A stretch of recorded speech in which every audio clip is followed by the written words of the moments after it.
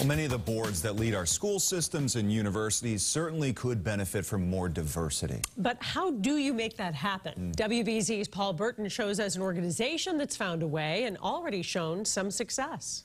Latinos for Education helped me learn who I truly am as a person to give back to my community. 30 year old Carlos Quintanilla says his dream is to inspire others to fulfill their potential.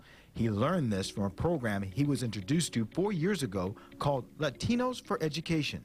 They do a lot of work from within you, understanding who you really are as a person. Latinos for Education is a national nonprofit that started five years ago.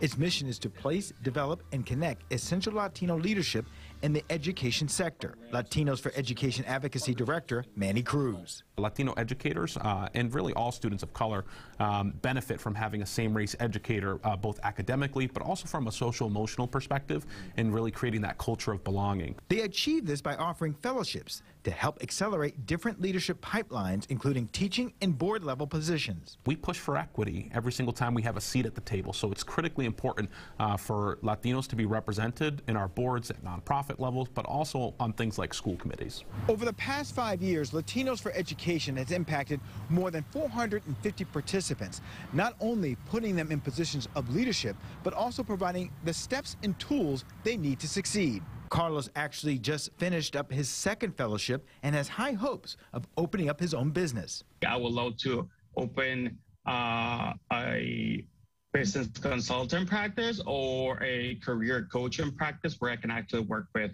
you know underrepresented communities, specifically the Latinx community. To create a stronger workforce for the Latino community. In Salem, I'm Paul Burton, WBZ News.